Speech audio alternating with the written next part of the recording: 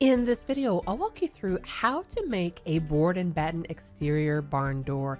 This is great if you have an area that you don't really have the room or the space to have a hinged opening door and the sliding effect of a barn door is a better idea. For this project, we're building a 32 inch by 82 inch door that will cover a 30 inch exterior laundry room opening.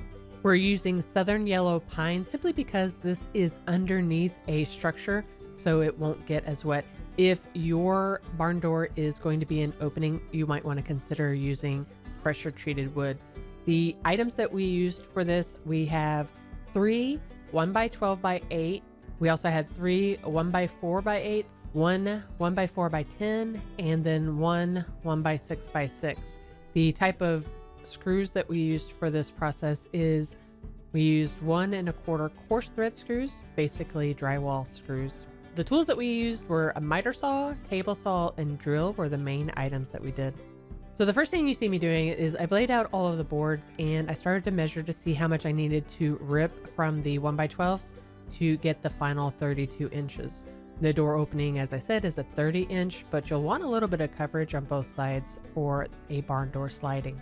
You see here, I'm looking to try and take out any bad areas and then making sure that all three boards were within an inch of one another so that the finished length is 82 inches. So then I use the miter saw to cut them down to size from the original 96 inches or 8 foot length. Then I put the boards on the sawhorse with the least amount of gappage in between or at least amount of space in between. And once that's done, I cut my 1x4s to 82 inch lengths. Then I cut my top middle, and bottom, the 1x6s to 25 inch widths. Then I had to clamp the back battens because there was a lot of warping and I wanted to be able to align them to the front 1x4s. So I clamped the outside and the front frame came to proper side-by-side -side measurements. And then I laid out my screw pattern.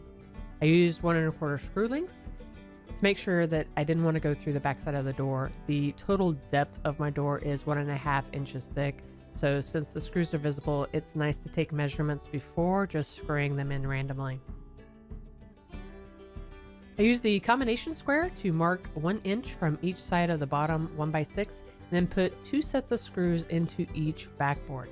I measured 3 quarter inches in between the side to side of the 1x4 legs to install two sets of screws. Then I just kept doing this on the top of 1x4 as well as the middle then I used a smaller drill bit that was a 332 bit for the eight side screws. You want to pre-drill the holes to make sure that nothing splits. It's very soft pine and then start putting in the screws on the perimeter of the 1x4 boards so it could take off the clamps before the next step. The next step is figuring out the angles to cut on each diagonal brace of the 1x4. I do more of a templating or eyeball measure than measuring. That just works better for me. And then I cut the 1x4 by 8 in half, then placed the 1x4 over top of my door. Marked the middle of the 1x4 on both sides to gauge the middle of the board, as well as placing it in the middle of the diagonal. Again, I was eyeballing this and I wasn't too worried about it being dead on since it's for an outside laundry door and it's not really fine furniture or anything like that. Then I traced the horizontal and vertical lines from the door frame under my board and it looks like a couple of trial and errors to get the angle correct. I intentionally cut them fat on my mark so I could tweak the angles as needed on both sides to get a tighter fit. Then I did the same thing for the other diagonal brace of the 1x4. Next was measuring out my screw placement on both diagonals. I stayed with the 3 4 inch from each side of the 1x4 with two sets of screws for each back board. Be careful when you're lining up your diagonal screws that you keep at least a 3 quarter inch from each backboard getting closer than that, and you have a chance of splitting it. The final part of this process was actually done off-site. I sanded and did a thorough cleaning of the wet rag, got up any dust or debris with a final wipe down, and then did a clean dry rag or tack cloth to apply the finish. My personal favorite is I use a Waterlox, and that's what I do for any of my interior or exterior projects. And then here you see the final installation. I didn't go into the details of actually installing the door. I was at a friend's house and I didn't have the video to show the process.